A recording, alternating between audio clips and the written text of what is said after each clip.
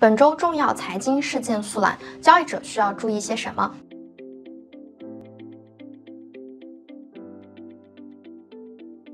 大家好，欢迎收看 Go Markets 的热门话题解析，我是 Share。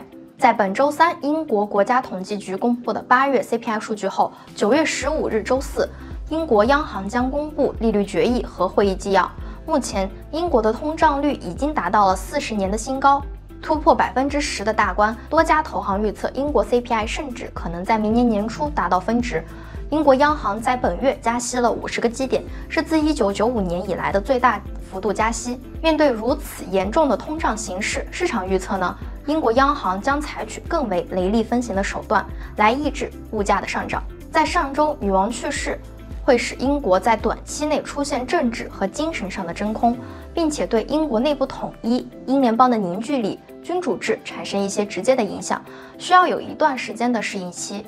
在伊丽莎白二世去世当天，英国股市并未受到冲击。九月八日呢，英国富时一百指数报收七千二百六十二点零六点，涨幅约百分之零点三三。英镑对美元当天小幅下跌百分之零点三。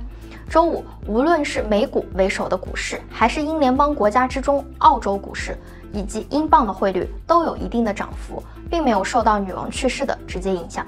此外，在九月六日时，澳联储公布利率决议，加息五十个基点，至百分之二点三五，达到七年多来的最高水平。这是澳联储连续第四次加息五十个基点。紧缩速度为一九九四年以来的最快。许多经济学家预测，十月份澳联储将恢复二十五个基点加息，预计澳联储放缓加息步伐的可能性为百分之五十。美国方面呢，投资者需要着重关注本周二九月十三日美国劳工统计局将会发布的八月份 CPI 通胀数据。